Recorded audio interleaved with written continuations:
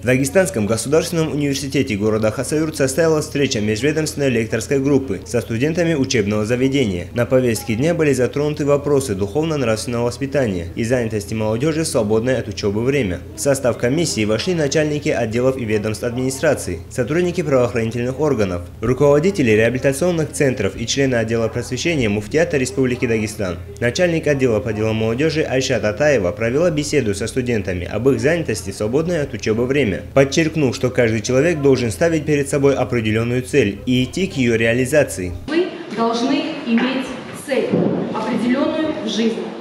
Не имея цели, ребята, невозможно жить.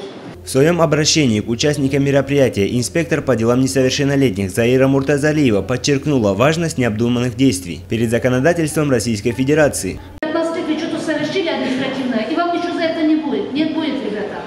Вы просто сегодня? Юридическую. По окончанию выступлений студентами были заданы интересующие их вопросы в адрес состава комиссии, на которые были даны ответы. Курбан Гериханов, Зарима Хайбулаева, Пермагомед Пермагомедов. Информационная программа «Пульс».